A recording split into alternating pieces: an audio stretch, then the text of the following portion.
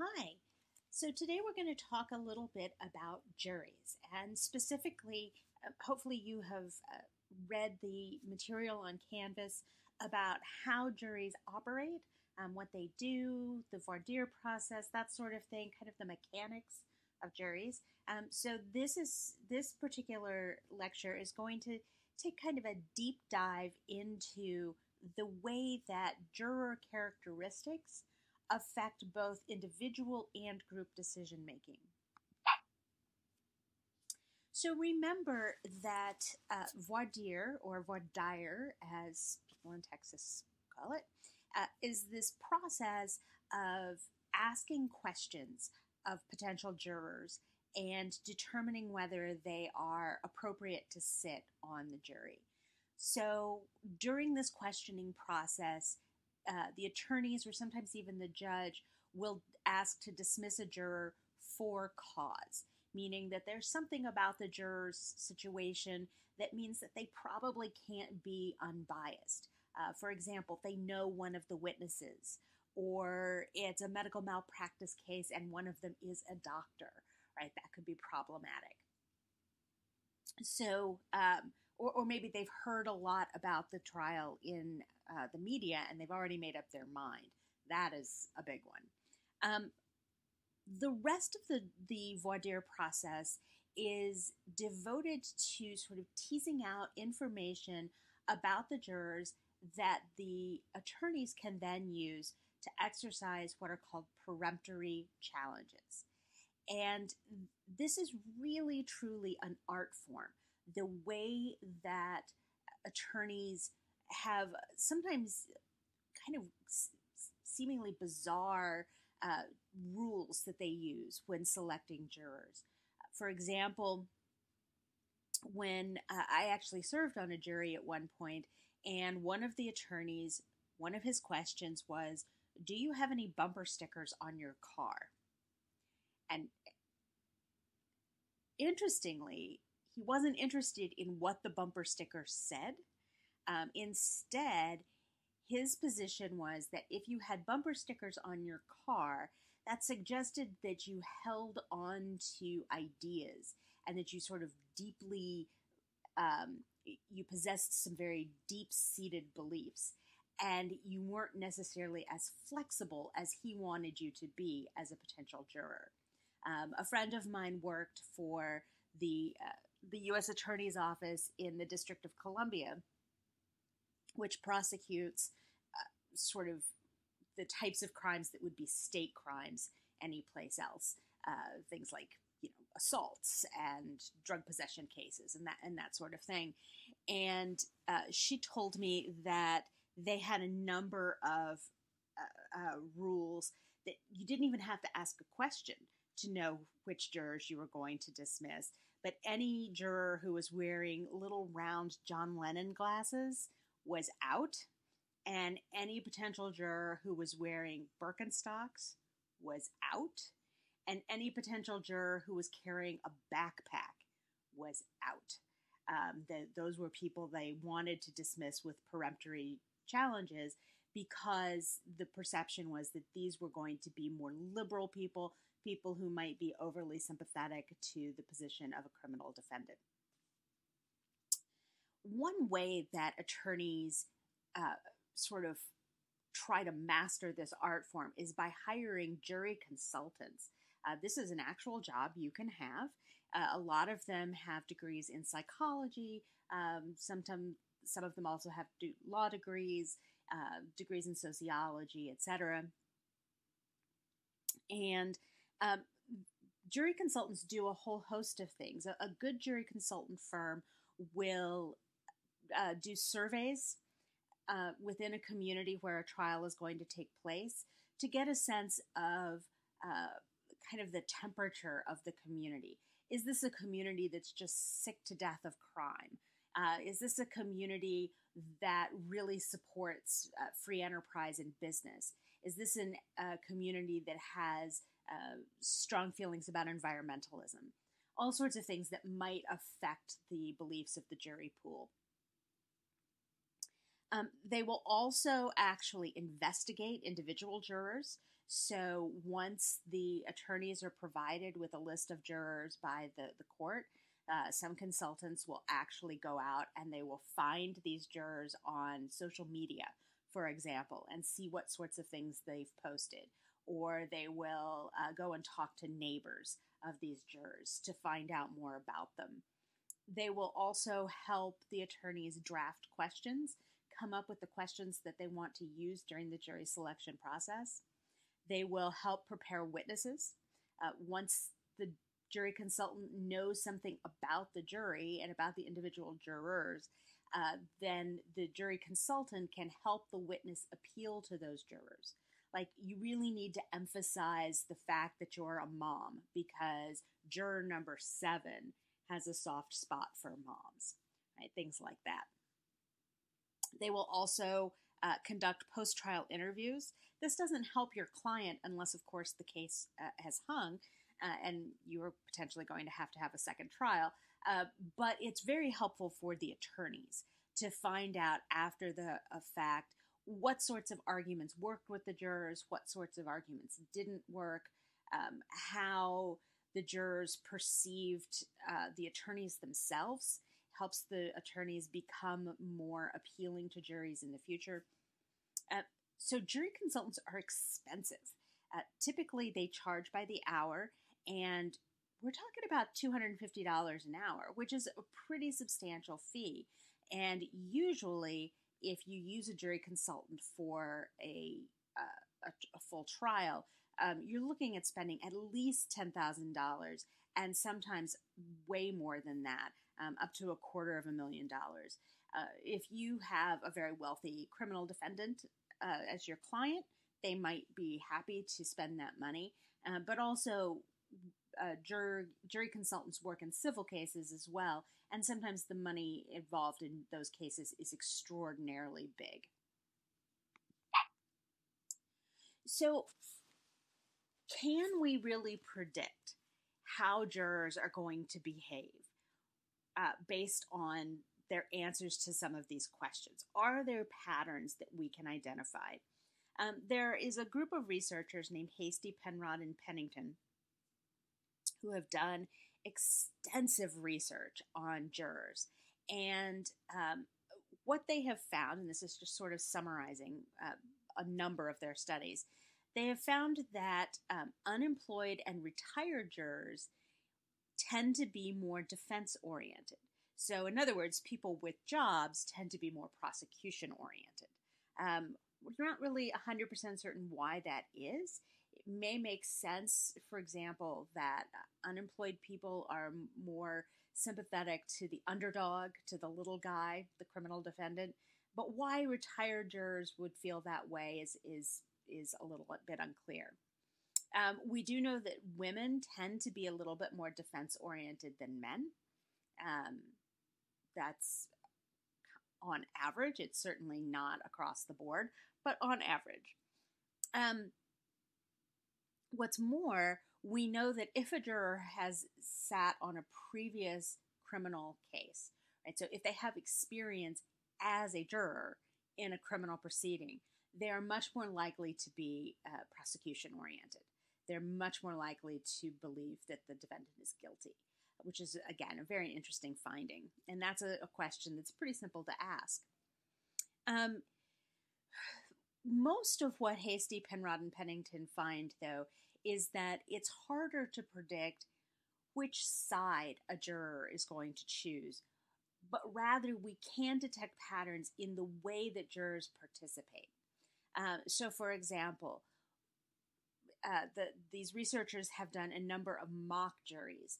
And so they will do a mock case and they'll have this mock jury sit in a room together and uh, they'll videotape the, the proceedings, the jury deliberations, and then they will analyze who spoke, how often, what did they say, that sort of thing.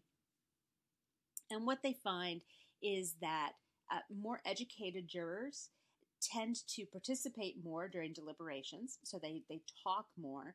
Um, and in fact, they do tend to have a better recall of the evidence. They're less likely to make factual errors when they uh, sort of report back or talk about evidentiary issues. Um, jurors who are in high status occupations, people like doctors, lawyers, CEOs, um, you know, school principals, that sort of thing, they tend to also talk more during deliberations. They play a, a bigger role. They're also more likely to uh, be chosen as the jury foreperson. Um, men and women behave very differently in um, jury proceedings. Specifically, men are more likely than women to talk about uh, facts, issues, legal issues, and organizational matters. So they're more likely to talk, want to talk about, for example, um, how the jury itself is going to operate, uh, how they're going to select a foreperson, how they're going to take an initial vote, those sorts of things. Um, the men are also more likely to talk about, um, you know, disputed issues of fact, like um, whether or not the gun that was recovered was actually the murder weapon. Whereas women tend to be a little bit more likely to talk about the um, content of what the witnesses said and the witness's demeanor and sort of engaging in that kind of social analysis. Um, we also know that uh, age plays an important part in determining which jurors talk during deliberations.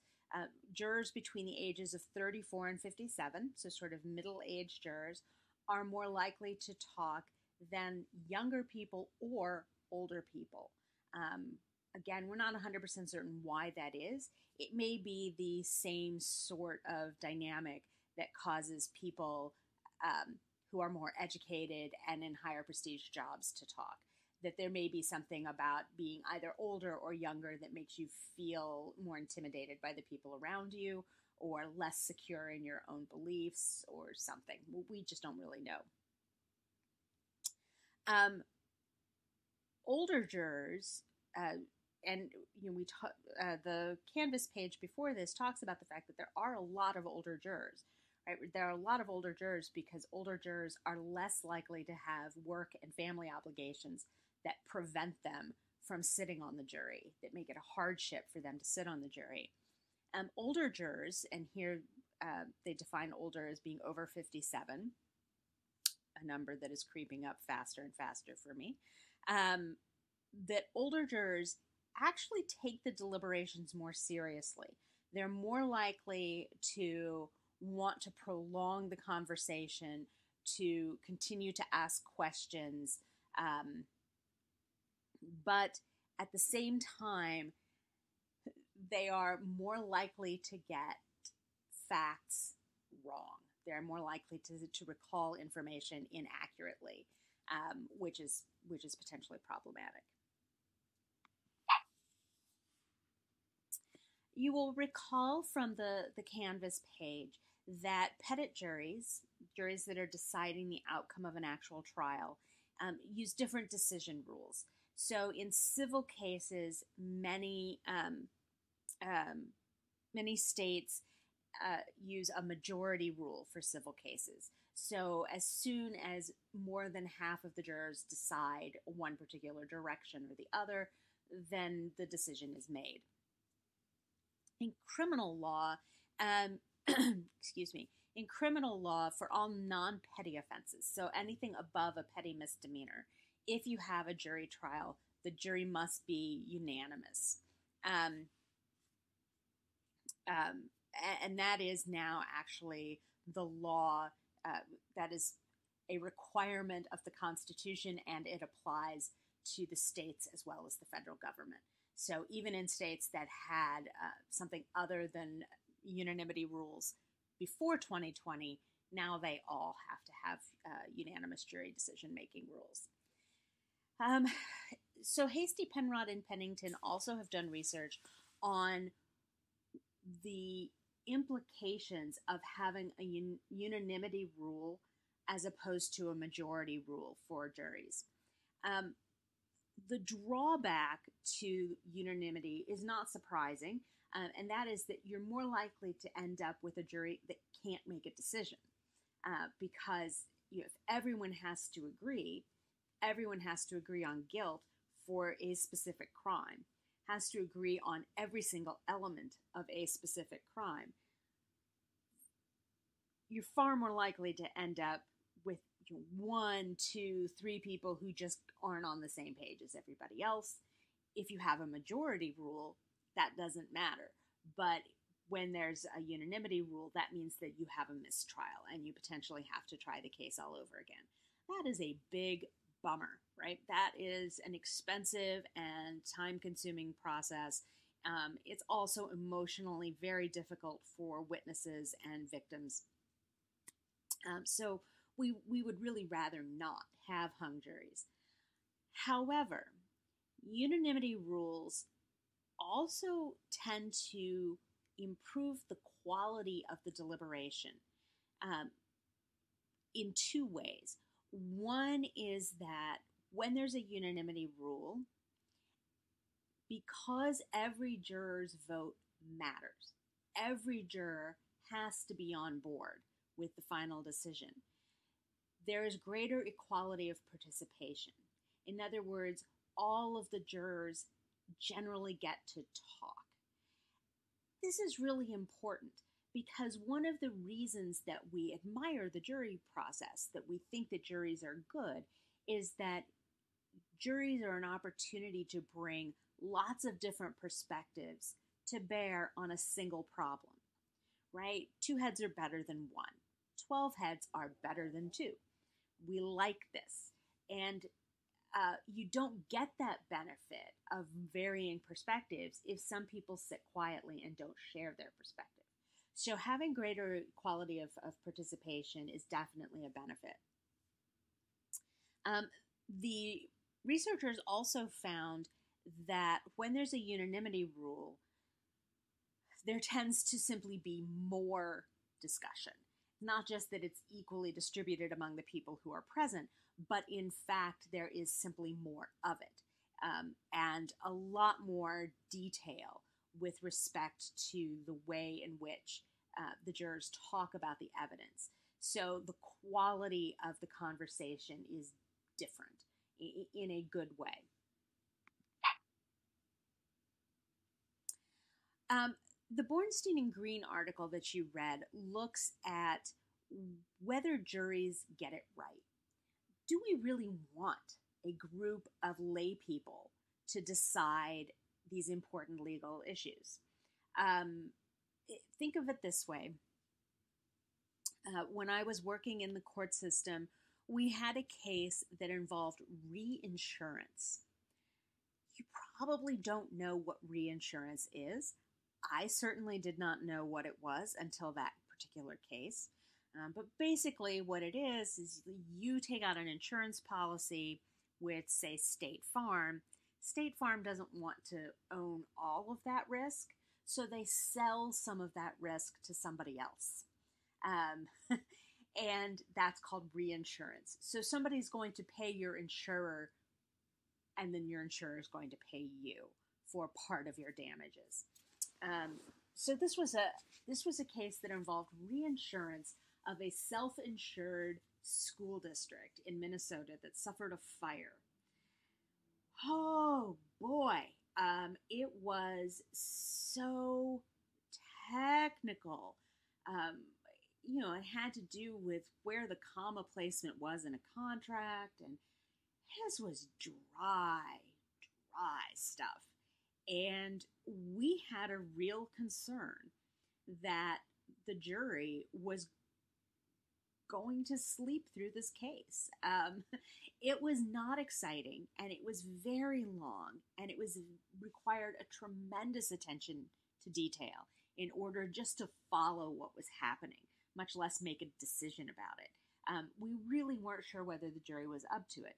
As it turned out, they were, and um, we knew from the, the quality of questions they asked after they had delivered their verdict that they actually did understand what was going on in the case. But you can see why people might be concerned that uh, for very long cases, very complicated cases, emotionally charged cases, uh, you know, cases involving the murder of a child, for example, do you really want 12 people who don't do this for a living to be making these decisions. So we would like to know if jurors get it right. Well, that's hard to know, of course, particularly in criminal cases, because um, in a criminal case, we don't necessarily know what the right answer is. We do when it's law and order, but in real life, we don't know whether a convicted person really is guilty or not. Um, we just, that's not something we can guess. So, what Bornstein and Greene do is they kind of try to come at this issue of accuracy from a number of different indirect angles. One thing they look at is do jurors understand what they heard in a case? And uh, what they find is that the answer is often no. that jurors have often poor recall of what happened in the case. Um, and more importantly, they don't understand what happened. They don't necessarily understand the importance of particular pieces of evidence. They don't know why they listened to that witness. They don't know why that person was called to testify. They don't understand why the attorneys asked the questions that they asked. So, sort of building a picture of what happened, um, you know, outside of the courtroom, it, it, it's very difficult. Um, another question or another sort of facet of juror performance that Bornstein and Greene look at is whether jurors are relying on the correct evidence. Um, remember when we talked about uh, evidentiary issues in the first half of the semester, we talked about the fact that uh, sometimes evidence comes in, right? A, an attorney asks a question and the witness answers the question, and there's an objection, right? That's hearsay. Um, when that happens, sometimes the, jur- the jury is told you need to disregard what that person just said. Um, Bornstein and Greene ask, uh, try to figure out whether jurors are using that inappropriate evidence or not. And they find that jurors are actually pretty good at only using the evidence they are supposed to use. And anything they've been told to disregard, at least outwardly, they disregard it. Um, they don't admit to using it, they don't admit to thinking about it. Another way that Bornstein and Greene attempt to measure jury performance is by looking at whether a judge hearing the case, so someone who's an expert um, who has sat in on many, many, many cases, whether a judge reaches the same decision as the jury. And um, this is probably a good sign uh, that judges agree with jury verdicts about 75 to 80% of the time. Now, of course, that means that in 20 to 25% of the time, they don't. They think the jury gets it wrong. But, you know, more often than not, the judge who we would hope would have some special insight, the judge um, agrees with the jury. And this is, I think, probably the most interesting finding to me of the Bornstein and Greene research. And that is that in 90% of the trials, the position that's favored by the majority at the beginning of deliberations ends up as the jury's verdict. So, in other words, let's say you have a, a, a murder trial and the jury retires and they start to deliberate. Often, one of the very first things a jury will do is take a, anonymous vote, right? They'll they'll take a, an initial vote just to see where you know is it close, is it not close, what. Um, and what we find is that most of the time, if a majority of jurors believe that that defendant is guilty before deliberation, the jury turn, returns a guilty verdict, and vice versa. If a majority believe that the defendant is not guilty before any deliberation, the jury ends up acquitting. Um, this is particularly interesting for a couple of reasons. One is that it casts some doubt on whether unanimity really matters, right?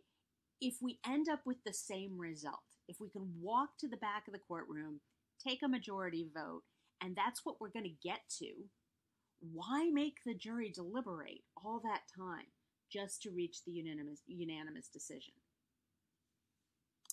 Um, there's an answer to that. um, one, the, I think the answer to that, I think the reason that it is still appropriate to go through the process of developing a unanimous uh, verdict is that procedure matters and that deliberation matters.